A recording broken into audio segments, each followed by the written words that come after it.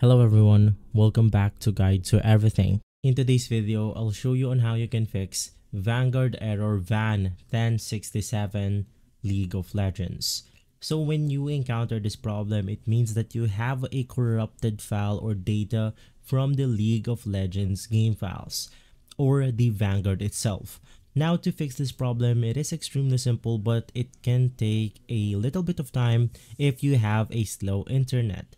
So the first thing that you can go ahead and do is to simply type add or remove programs on your computer. Go ahead and search for Vanguard and then you simply want to uninstall the official Riot Vanguard application from your computer because this is where the problem is coming from. It means that the League of Legends application cannot launch the game because they are having a problem with the Vanguard itself, which is the anti-cheat system of Riot. So uninstall this program and right after, you then want to open up the Riot launcher right here. And simply once inside the launcher, you can then click on League of Legends and an update button will show up right here. Just update your Riot Vanguard, restart your computer, and you should be good to go. If this video has been helpful, leave a like, subscribe, and follow Guide to Everything for more videos like this.